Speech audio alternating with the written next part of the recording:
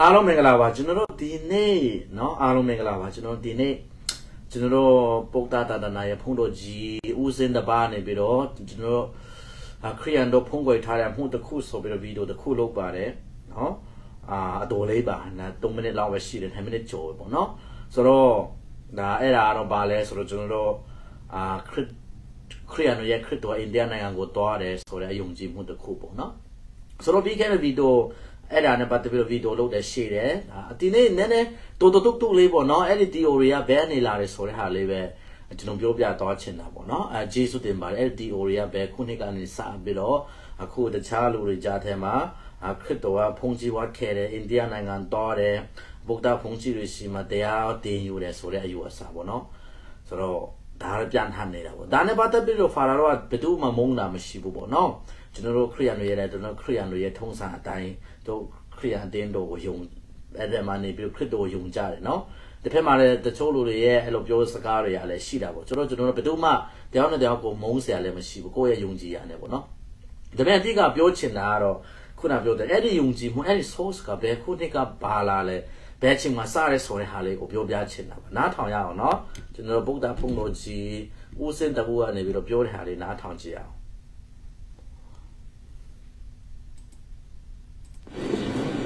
ရိယန်တို့ဖုံးကွယ်ထားသောအမှုတမှုရှိပါတယ်အဲ့ဒါကဘာလဲဆိုလို့ရှိရင်သူတို့ကိုးကွယ်တဲ့ယေရှုခရစ်က12နှစ်ကနေပြီးတော့30ဂျားမှာ16နှစ်ကာလပြောင်းနေပါတယ်အဲ့ဒီ16နှစ်ကာလပြောင်းနေတာကိုသူတို့ခရိယန်ဘာသာဝင်ပမောက္ခဂိုရစ်ဆိုတဲ့လူက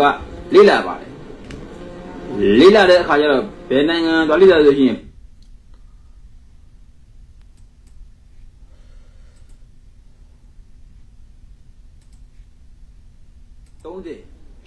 18နှစ်ကာလပြောင်းနေပါတယ်အဲ့ဒီ18နှစ်ကာလပြောင်းနေတာကိုသူတို့ခရိယန်ဘာသာဝင်ပမောက္ခဂိုရစ်ဆိုတဲ့သူကလေ့လာပါတယ်လေ့လာတဲ့အခါကျတော့ဘယ်နိုင်ငံသွားလေ့လာဆိုရင်ဘူတန်နိုင်ငံသွားလေ့လာပါတယ်အဲ့ဒီဘူတန်နိုင်ငံမှာယေရှုခရစ်ပြောင်းနေတဲ့18နှစ်ကာလကိုမှတ်တမ်းတင်ထားပါတယ်အခါတော့ကယေရှုခရစ်က အဲ့လေဘူတန်နိုင်ငံကိုတွားတဲ့လှေသမားနဲ့လိုက်ပြီးတော့ဘူတန်နိုင်ငံရဲ့ယဟန်တပါဒီမှာတပည့်ခံပြီးတော့တရားကြီးကျင့်ကြံကြိုးကိုအားထုတ်ပါတယ်သူ့ကိုသူတရားကလေးလာတိုင်တိုင်ဆန်းသက်ပြီးတော့မှယဟန်ရုပ်ခွင့်တာမဏေဝိခွင့်ကိုပေးပါတယ်သူကအဲ့ဒီအခါမှာ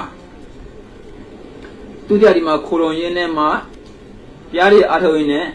ဗန်အပိန်ရင်တွေကိုယေရှုခရစ်ရခဲ့ပါတယ် အဲ့ဒီအခါကျတော့သူတရားကိုသူကတိုက်တွန်းတယ်ဖျားတပည့်တော်တပည့်တော်တာတိကိုပြန်ပြီးတော့တာသနာပြုချင်ပါတယ်သူတရားလည်းဗန်အပိန်ရင်ရထားတဲ့ပုဂ္ဂိုလ်ဆိုတော့ငါတပည့်မင်းမသွားနဲ့မင်းအန်ဒီရဖြစ်လိမ့်မယ်အဲ့ဒီကမှယေရှုခရစ်ကနေပြီးတော့တပည့်တော်အန်ဒီရဖြစ်ဖြစ်မဖြစ်ဖြစ်တပည့်တော်သာတိကလူတွေအတိညာရဖို့တပည့်တော်ပြန်ခွင့်ပြပါဆိုပြီးတော့ပြန်ခွင့်ပြလိုက်ပါတယ်အဲ့ဒီကမှသူတရားကယေရှုခရစ်ကိုမှားလိုက်ပါတယ် မှားတဲ့အခါကျတော့ငါငါတပည့်သူတို့တွေမင်းကိုဘယ်လိုပဲအန်ဒီရပြပြမင်းဘာမှပြန်မလုံးနဲ့လို့မှားလိုက်ပါတယ်အဲ့ဒီအခါမှာယေရှုခရစ်ကလည်းလက်ခံပြီးခဲ့ပြီးတော့ပြန်ပါတယ်အဲ့ဒီမှတ်တမ်းကိုအဲ့ခရိယန်ဘာသာဝင်ပါမောက္ခတက္ကသိုလ်တခုမှာစာဝါရီပို့ချပေးတဲ့ပါမောက္ခဂိုရစ်ကတွေ့တယ်တွေ့တဲ့အခါကျတော့ဂိုအဲ့ တွေ့တဲ့ဂိုရစ်ကိုအဲ့ခရိယန်ဘာသာဝင်ကတက်ခဲ့တယ်တက်ပြီးတော့အဲ့ဒီမှတ်တမ်းကိုလည်းဖျောက်ပစ်ခဲ့ပါတယ်အားလုံးကိုကျေးဇူးတင်ပါတယ်အာဆိုတော့အကြောင်းအရာလေးရတယ်ဒါဒါလေးပါပဲเนาะအခုနဦးစင်ပြောတော့တဲ့အချက်တွေထဲမှာဟောကိုရစ်ဆိုတဲ့ပုဂ္ဂိုလ်တယောက်ဆိုတာဘယ်သူလဲပေါ့เนาะကျွန်တော်လေ့လာကြည့်တော့မသိရသေးဘူးဆိုတော့ခရိယန်တွေကတတ်ဖြတ်တဲ့ဆိုတဲ့ဟာဘယ်လိုပဲနေရာမှာတတ်တာလဲအဲ့ဒါ ပြီးတော့သူ့ကိုတတ်ပြီးတော့တမိုင်းကိုဖျောက်လိုက်တယ်ဆိုရင်ဦးလေးဦးဦးစင်းတို့ကလည်းဘယ်လိုတမိုင်းကိုတည်တာလဲပေါ့နော်ဒါလေးဒီမေးစရာရှိတာပေါ့โอเคဒါကတော့ဒီတိုင်းမေးကြည့်တာပေါ့နော်အပြည့်ပြောတာတော့မဟုတ်ပါဘူးဆိုတော့အာအာဆိုတော့အတိကပြောချင်တာအဲ့ဒီတခင်ယေရှုကဖုန်ကြီးဝါခဲ့တဲ့အိန္ဒိယကိုတောတယ်ထဲသမားတွေနဲ့တောတယ်စာတော်တင်တယ်ယဟန်ဝတ်တယ်ဆိုတဲ့ဒီ theory တွေက ဘယ်နေလာတယ်ဆိုအဲ့ဒါလေးပြောပြချင်တာပေါ့ဘယ်နေလာတယ်ဆိုရင်ကျွန်တော်တို့ဘယ်လိုပြောမလဲတီပုကိုအခုနတွေ့တယ်တီပုကိုစီကနေလာတာတီပုကိုစီကဒါသူ့နာမည်ကနီကိုလတ်အခုနသူဦးစင်ပြောတဲ့ကိုဂိုရတ်ဂိုရတ်ဆိုတဲ့ကျွန်တော်နားမလဲဘူးနီကိုလတ်ကိုပြောချင်တာလားတော့မသိဘူးပေါ့နော်ဘသူ့ကိုပြောချင်တာလည်းမသိဘူးဂိုရစ်ဆိုတဲ့ဟာဘသူလည်းမသိဘူးဆိုတော့ဒီပုကိုကနေလာတာသူကနေပြီးတော့ဒါ ဒါစောက်ထုတ်တဲ့ unknown life of Jesus Christ ဒါ original text from Nicholas Noktovich 1889မှာเนาะသူကတွေးရှိပါတယ်သူရဲ့အာဇာကိုဒီတွေးရှိပါတယ်ဆိုပြီးတော့သူကပြောတာသူက1858မှာမွေးတယ်1916မှာတည်တော့တဲ့ပုဂ္ဂိုလ်တယောက်ပါသူစာအုပ်တွေဆိုအခုဖြောင်းပြောက်ပြောက်ဖို့နေနေတာဒါအများကြီးပါဒီစာအုပ်မျိုးပေါ့နော်အစားဆိုတော့ပြောချင်တာ1889မှာဆိုတော့ဘယ်ကနေဘယ်လိုတွေးတယ်လဲသူကပြောတာတော့ပါတော့ သူကအာသူကရုရှားနိုင်ငံသားဖြစ်တယ်နော်သူကအနောက်နိုင်ငံသားတပွားပေါ့နော်သူကဂျူးဝန်ဂျူးဘာသာဝန်တယောက်လည်းဖြစ်တယ်ပြောတယ်ခရစ်ယာန်တယောက်လည်းဖြစ်လာတယ် Orthodox Church ထဲကိုလည်းဝန်တယ်လို့ပြောတယ်ပေါ့နော်တပွားတော့သူကအိန္ဒိယနိုင်ငံဖက်ကိုထဲထဲရင်းနဲ့တွားရင်းလာရင်းနဲ့ပေါ့နော်ဒါပုတ်တာဖုန်ကြီးကျောင်းမှာတွားပြီးမှရောက်သွားတော့ရောက်တော့တဲ့အချိန်မှာသူကအဲ့ဒီမှာနေရင်းနဲ့အဲ့ဒီမှာရှိတဲ့ဖုန်ကြီးတ တပားနေပြီးတော့ဒီမှာရောက်တခင်ယေရှုရဲ့တခင်ယေရှုကဒီမှာအရင်လာခဲ့တယ်ဇာလာတင်ခဲ့တယ်စသဖြင့်ပြောပြတယ်တဲ့နော်အဲ့ဒါပြောပြတာကိုသူပြန်လာပြီးတော့ဒီအဲ့ဒါကိုအာသူကဘာသာပြန်ပြီးတော့ပေါ့လေနော်လေ့လာပြီးတော့ဘာသာပြန်ပြီးတော့အဲ့ဒီ source ကနေသူကဘယ်လိုစာအုပ်ပြန်ထုတ်လိုက်တယ်လဲဆိုရင်ခုနကျွန်တော်တို့တွေ့တဲ့ဒီကောင်းစင်နဲ့သူကစာအုပ်ထုတ်လိုက်တာနော် okay ဆိုတော့ဘယ်ခုနှစ်မှာသူကထုတ်တယ်လဲဆိုရင် အဲ့ဒီစာအုပ်ကိုတွေးရှိတဲ့ဟာ1889เนาะ तू ကစထုတ်တာပဲဘယ်ချိန်မှာလဲဆိုရင်အာ1894မှာစပြီးမှထုတ်တာပေါ့เนาะဒါ1894ဆိုတော့တိနှစ်ပေါင်း7နှစ်ပါအကြာမှာထုတ်ဖြစ်တာပေါ့ပြီးတော့ तू ကအင်္ဂလိပ်လိုကဘယ်ချိန်မှာပေါ်လာတယ်1800အာ sorry 1926မှာပေါ်လာတယ်အဲ့ဒီကနေကဘာလုံးကတိသွားတာပေါ့เนาะဆိုတော့ပထမမှာတော့ပြင်သစ်စကားနဲ့လာအနောက်နိုင်ငံစကားနဲ့ထုတ်တာဖြစ်မှာပေါ့เนาะ ဒီအတိကပြောချင်တာဒီကနေစတာပါပဲ alright အာအဲ့ဒီကနေစတာအဲ့ဒီမှာမေးချင်တာဒီပုဂ္ဂိုလ်ကသူ့ရဲ့ဒီစာအုပ်ကိုထုတ်ထုတ်ပြီးတဲ့တထင်အတူတူမှာပဲသူနဲ့အတူတူခစ်ပြိုင်ပညာရှင်တွေကမေးတယ်တကယ်တော့တွေ့တယ်လားဘယ်လိုလဲဆိုတော့တော့မေးတော့အဲ့ဒီသူတော့ခဲ့တဲ့နေရာကိုလည်းအိန္ဒိယဘက်ကိုတော့ပြီးမှတော့ရှာကြတော့လဲအော်အဲ့လိုပုဂ္ဂိုလ်မျိုးရာရှာနိုင်ငံတတိနာမည်ခံတဲ့လူဒီဖုန်ကြီးเจ้าမှာလာမလဲဖို့ပါဘူး မလာဘူးပါဘူးဆိုတဲ့ဟာလေးတွေအများကြီးရှိတာပေါ့နော်ဆိုတော့ပြောချင်တာကဒီဟာက1880နဲ့အာခொနေကနေနေကျွန်တော်တို့ကလူတအူးရဲ့လုတ်လုတ်ကြမှုကနေဖြစ်လာတာပါအဲ့ဒီကနေဒီလိုလူတိုင်းကတကင်းဆိုဖုန်ကြီးဝတ်တဲ့အိန္ဒိယတော်ရဲဆိုတဲ့ theory ကပေါ်လာတာပေါ့နော်ဒါဗီဖာရာဗီတော့အရှိလုတ်ထားတဲ့အဲ့ထဲမှာအကြည့်အကြအကြည့်လို့ရတဘောကတော့1889မှာပေါ်လာတယ်ဆိုတော့ alright ဒါဆိုအဲ့ဒီစာမူရင်းကိုသူတို့တကယ် original မူရင်းကိုသူတို့တွေ့သလားဆိုတော့သူကိုယ်တိုင်သူ့ကိုတားမေးလာကြတဲ့အချိန်မှာမပြနိုင်ဘူးလေသူမပြနိုင်တော့ဘူးเนาะအာအိုးစရာကသူမပြနိုင်တော့ဘူးသူထုတ်တာနဲ့နောက်တစ်နှစ်မှာကိုသူ့ကိုပညာရှင်တွေရဲ့ question ထုတ်ပြီးမှတက်တေပြခိုင်းကြတာနဲ့သူလည်းတက်တေမပြနိုင်တော့ဘူးเนาะဆိုတော့သူ့ရဲ့ theory ကိုယူပြီးတော့လူအများကြီးအဲ့လိုပဲတခင်စုက အဲဖုန်ကြီးဝတ်တဲ့အိန္ဒိယတော့တယ်စားတာဖြစ်တချို့လူတွေဆိုတော့ breeding တော့တယ်ပေါ့တချို့လူတွေဆိုဟိုတော့ဒီတော့တယ်အများကြီးပါပဲဆိုတော့အပြောချင်တာဒီစားနေဖြစ်လာတာပေါ့နော်သူအခုနကျွန်တော်တို့ပြောတဲ့အတိုင်းအာသူရဲ့ original source ကပါသူတော့ပြရဲ့စာချွန်တော့ပြောမှာလားနော် the manuscripts ကပါလဲဆို life of saint isaac ပေါ့နော် isaac ဆိုတာသူတို့အခုနဲ့ပေါ့သူ Hebrew ဘာသာစကားနဲ့ပေါ့နော် best of sons of men ဆိုတဲ့ဟာ ပေါ့နော်အဲ့ဒီ manuscript ကို1889မှာတွေ့ရ Okay ဒါဆိုတော့ဒီဒီဟာအဲ့လောက်ပါပဲပေါ့နော်ဘယ်ကနေလာတယ်လဲဆိုတဲ့အရာဆိုတော့ပြောချင်တာအဲ့ဒီစာအုပ်ကိုလည်းကျွန်တော်တို့မဖြတ်စီရပါဘူးရှိနေသေးပါပဲအခုချိန်တွေလည်းဝယ်လို့ရပါတယ် Amazon တွေမှာအများကြီးပေါ့နော်အာဆိုတော့ကျွန်တော်ခရိယာန်တွေရဲ့ယုံကြည်ခြင်းအရာကျွန်တော်တို့အာသခင်ယေရှုကမွေးတယ်အာ အတန်ထန်တဲ့အထီကျွန်တော်တို့ချမ်းစာမှာတွေ့ရတယ်ထန်နှစ်ကနေ7နှစ်အကြာလည်းဘာမှမတွေ့ရဘူး7နှစ်ကနေအသက်30အကြာလည်းဘာမှမတည်ရဘူးကျွန်တော်တို့ကတော့နားလေတယ်ဘာလို့လဲဆိုတခင်ယေရှုရဲ့သူ့ရဲ့အချိန်တန်သူ့ရဲ့ဖွင့်ကိုဆောင်မဲ့အချိန်ကာလရောက်လာတဲ့အချိန်မှာ ministry ကိုလုပ်တဲ့အချိန်မှာပဲသူကစားလုပ်တာမလို့ကျွန်တော်တို့က30အနေစတာကျမ်းစာမှာသူ့ရဲ့ငယ်ဘဝနဲ့ပတ်သက်ပြီးတော့ရေးမဲ့သူတို့ပြောတာနိုင်ပြောတာကျွန်တော်ခရိယန်ကျမ်းစာနော် ဆိုတော့တခင်ယေရှုကသူများတွေကဲတော့နေတယ်အာလက်သမားဖြစ်တယ်လို့သူ့ရဲ့ခိကလူတွေကလည်းလက်သမားလို့နားလဲတယ်အဲ့လိုပဲကျမ်းစာမှာရေးထားတယ်ဆိုတော့အဲ့ဒါတခုပေါ့နော်ဆိုတော့မိဘတွေနဲ့အတူတူနေတယ်ဒါပဲဆိုတော့အဲ့ကြောင့်ကျွန်တော်တို့အားလုံးတည်ထားရမှာကအာ80,880ခုနှစ်မှာပေါ်လာတဲ့အာလူတယောက်ကသူကိုယ်တိုင်နဲ့တက်တည်မပြနိုင်ဘူးเนาะနီကိုလတ်ဆိုတဲ့နော်တိုဗစ်က သူပြောတိုင်းပြောတယ်ငါအဲ့ဒီစာအုပ်ကိုသွားတွေ့တယ်နော်ဟိုကလူတွေကလည်းအဲ့ဒီလူမလာပါဘူးအဲ့ဒီစာမျိုးလည်းမရှိပါဘူးပြောထားတယ်သူ့ရဲ့ theory တစ်ခု1889မှာပေါ်လာတဲ့အရာတန်တားကြီးကိုတို့ယုံမလားကျွန်တော်တို့ခရိယန်တွေရဲ့ကျမ်းစာက AD အာတရားမတိုင်ခင်မှာနော် AD 90နဲ့တရားကြားမှာရေးထားတဲ့မျက်မြင်တွေကိုတွေ့တွေတခင်ဆိုရဲ့အမေကိုတိုင်တဲ့အတူတူတော်လာတဲ့ပုဂ္ဂိုလ်တွေ ခင်ယေရှုရဲ့အမေနဲ့အတူတူတွာလာတဲ့ပုဂ္ဂိုလ်တမန်တော်ကြီးတွေရဲ့တမန်တော်ကြီးတွေရဲ့တပည့်တွေကိုတိုင်ကရေးတဲ့ document ကဘောဘမှာမစိတ်ချရဘူးလားပေါ့နော်ဆိုတော့ okay ကျမ်းစာအနေနဲ့စိတ်မချချင်တော့မှနေပါစေတမိုင်းအနေနဲ့တော့ဘောဘမှာစိတ်ချဖို့ကောင်းပါတယ်နော်1889မှာပေါ်လာတဲ့အရာထက် theory ထက်အဲ့ဒီမှာတိုင်ခင်မှာရှိတဲ့အဲ့ဒီအရေးအသားထဲမှာခရစ်တော်လက်သမားဖြစ်တဲ့အဖေမေနဲ့နေတယ် ဆိုတဲ့အရာလောက်တိကျတဲ့ဟာဘာလို့အသေးတယ်ဆိုတဲ့ဟာပေါ့နော်ပြောပြချင်တာဖြစ်တယ်ဒီဟာကအာကျွန်တော်တို့ဗုဒ္ဓကြီးကိုတွေကိုလည်းပြောချင်တာဒီလိုတန်တာကြီးကိုကျွန်တော်တို့အားလုံးကမယုံဖို့လိုအပ်တယ်ပေါ့နော်ဒီဟာယုံတော့ဗုဒ္ဓဘာသာဝင်တွေကတော့ဘာအကျိုးမှမရှိပါဘူးအရှိအကျိုးလည်းမရှိပါဘာလို့လဲဆိုတော့ခရစ်တော်ရဲ့တုန်တင်ချက်ကိုတို့လည်းလက်မခံဘူးလေဒါသူတို့ဖျားဖြစ်လက်မခံထားလိုက်ကိစ္စမရှိဘူးဆိုတော့ အဲ့ဒါကိုတော့ပြောနေလဲကိစ္စမရှိဘူး။ကျွန်တော်ဖာရာလိလာတဲ့တော့ကဒါပါအကြောင်းဒီဟာပြောနေဖြစ်လာတယ်လဲဆိုနှစ်ခုရှိတယ်နီလာလိလာတဲ့ချိန်မှာတချို့တွေကတချို့ခရိယန်တွေကအစွန်းရောက်ခရိယန်တွေမှာပြောရမှာပါဘောနော်။အဲကြောင့်အာခရစ်တော်ကိုအယံအမဟာ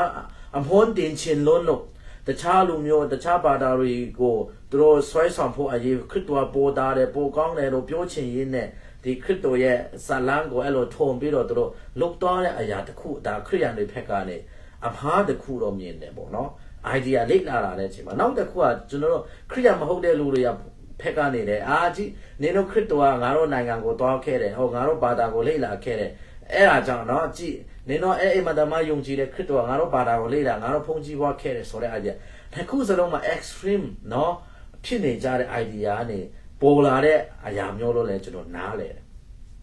ဆိုတော့ပြောချင်တာကတစ်ခါတစ်ခါအာတချို့တော့ခရိယာမဟုတ်တဲ့လူတွေအာနေတော့ဂျန်စာမှာခရစ်တော်ရဲ့သမင်းစားရည်တောက်တန်းအကြောင်းအရာအားလုံးမပါဘူးပြောလေဟောကျွန်တော်တို့ခရိယာတွေအတွက်အကုန်လုံးပါစရာမလိုဘူးပေါ့နော်ကျွန်တော်ရဲ့ခရစ်ယာန်တွေရဲ့ဂျန်စာကိုနိုင်ကခရစ်တော်ပြောလုတ်ခဲ့တဲ့တကိုးလက်ခဏများစွာကြံသေးတယ်အဲ့ဒါတွေမပါဘူးမရေးထားဘူးတဲ့အဲ့ဒါတွေအကုန်ရေးလို့စင်ကဘာကြီးမှာဂျန်စာမဆက်နိုင်တော့အောင်များပြားမယ်ဆိုတော့နော် တို့ခရိယန်တွေတည်တာအဲကြောင့်အကုန်လုံးမပါဘူးအရေးကြီးတဲ့အပိုင်းတွေပဲပါတယ်ပေါ့နော်သူရဲ့မွေးခြင်းသူရဲ့အသေးခံခြင်းတရားဟောခြင်းရှင်ပြန်ထမြောက်ခြင်းဒါကကျွန်တော်အတိက main ပေါ့နော်အဲကြောင့်ကျွန်တော်တို့ ပဲ religious leader ဘယ်သူမဆိုပေါ့လေအာဗုဒ္ဓဘာသာဖြစ်ဖြစ်ခရစ်ယာန်ဘာသာအစ္စလာမ်ဘာသာလူတယောက်ရဲ့ခေါင်းဆောင်ရဲ့အကြောင်းအရာကိုသမင်းစားရည်တော့အစနေ့စဉ်မှတ်တမ်းမှရရေးပြီးတော့အကုန်လုံးသူတို့ရဲ့ holy books လို့ခေါ်လဲသူတို့ရဲ့ကျမ်းစာသူတို့ရဲ့အစာနော်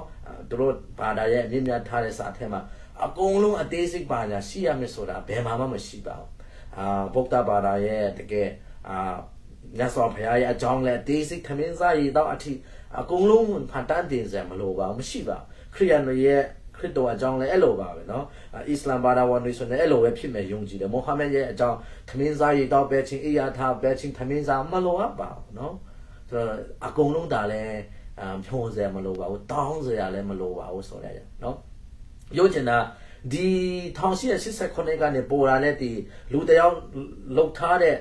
အမဟာယွန်းတခုကကျွန်တော်လူအားလုံးပုံမှာရောက်သွားတော့လူအားလုံးက အဲ့လိုပဲအဖန်လို့ပဲထင်နေကြတဲ့အရာကျွန်တော်တို့အားလုံးကစင်ချင်ရအောင်ပေါ့နော်ဆိုတော့အဲ့ဒါပြောချင်တာအဲ့ဒါကျွန်တော်တကယ်ချင်းဗုဒ္ဓဘာသာဝင်ခေါင်းဆောင်ပိုင်းတွေဥစဉ်တွေပုံကိုလည်းဒီဘန်းနေဒီဟာစတယ်ဆိုတဲ့ဟာကိုလေ့လာစေချင်တာပေါ့နော်ဆိုတော့ဗုဒ္ဓ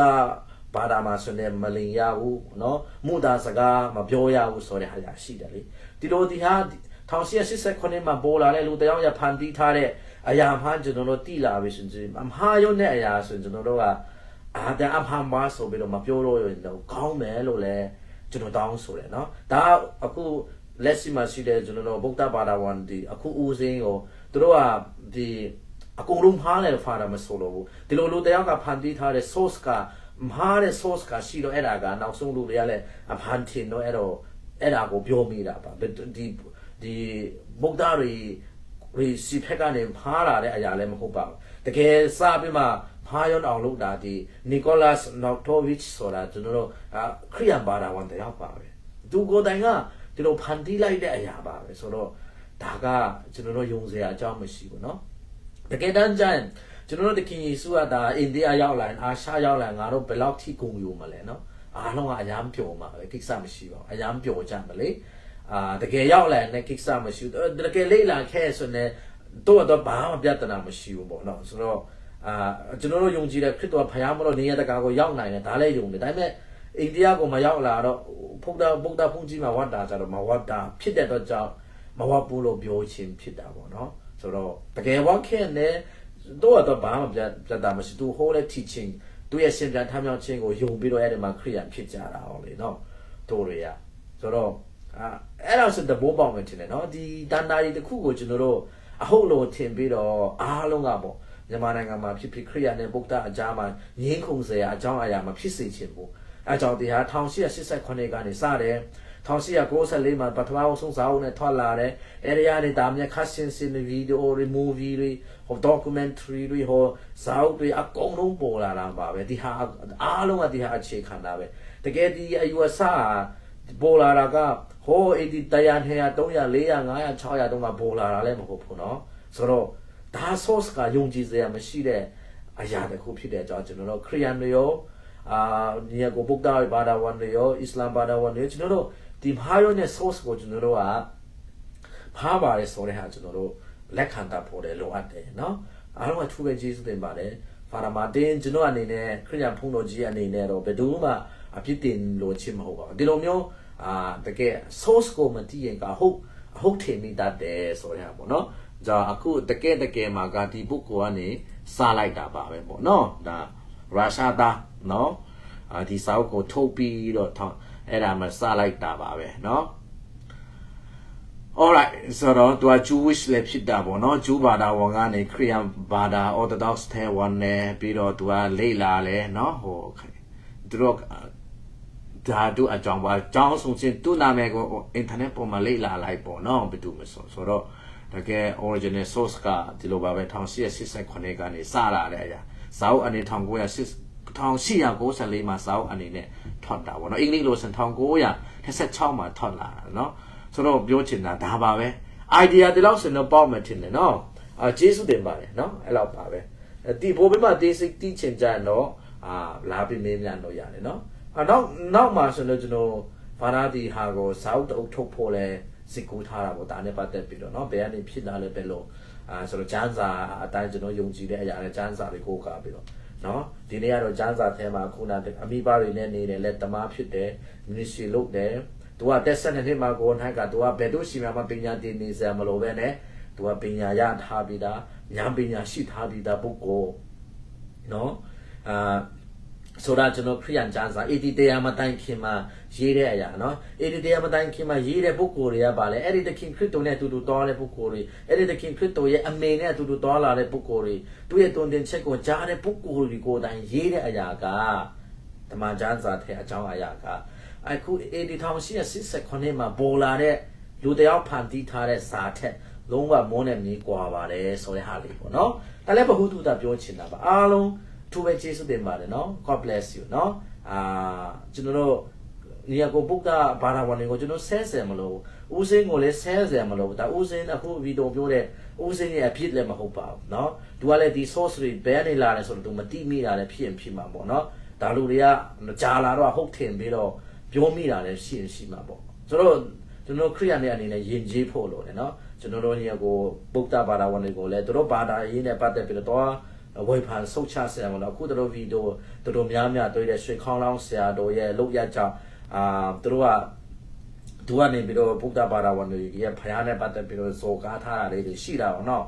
ဒါလေးတွေတော့မလုပ်တင်ဘူးနော်တော့ယုံကြည်ရကိုတော့ဒီတိုင်းအသက်ရှင်တို့လူတွေကြိုက်လာတို့ကနေတို့လာရပြီနော်ဗီဒီယိုတစ်ခုမှလည်းကျွန်တော်တွေ့တယ်ဗုဒ္ဓဘာသာဝင်တယောက်ဖက်ကနေဟာ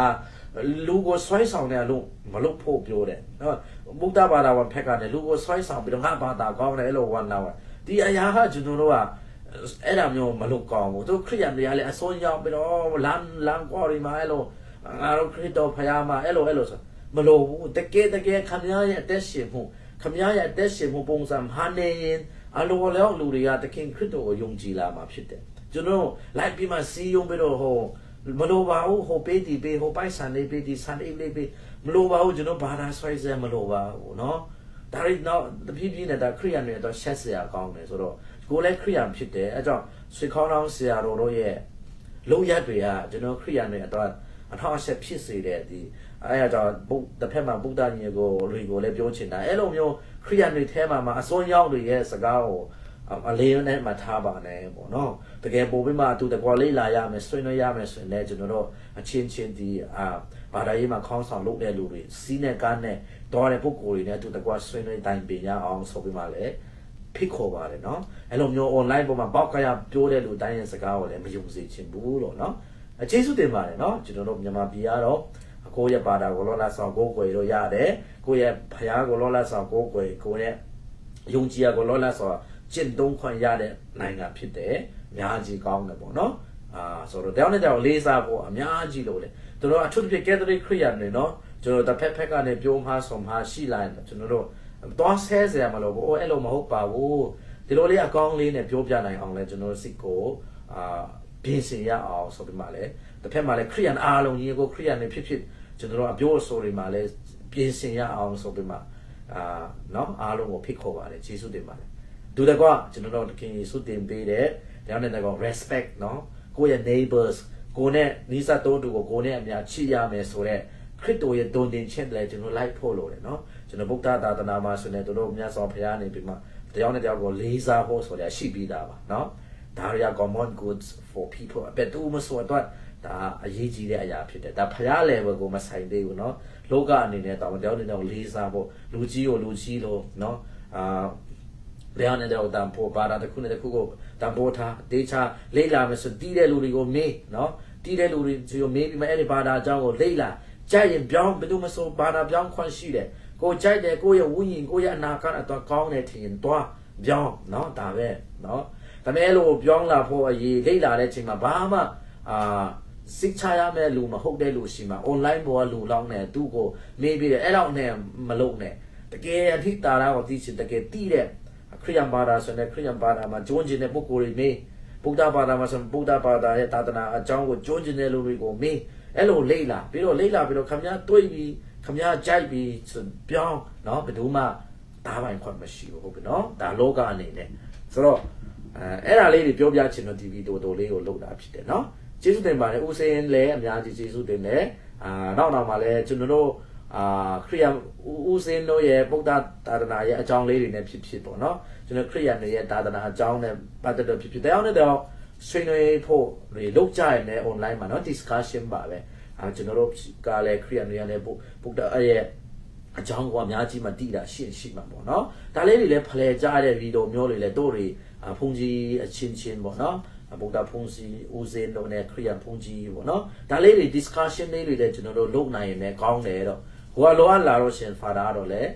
ခရိယံဖုန်တော်ကြီးအနေနဲ့အမြဲတမ်းအစစ်သက်ပေါ့နော်အာဆွေးနွေးဖို့တိုင်းပင်ဖို့အမြဲတမ်းဝါသနာပါတယ်ဆိုရလေးကိုလည်း open နော်ထိုင်လိုက်လဲလဲပြောလို့ပါတယ်အခြေစုတင်ပါတယ် complex ရော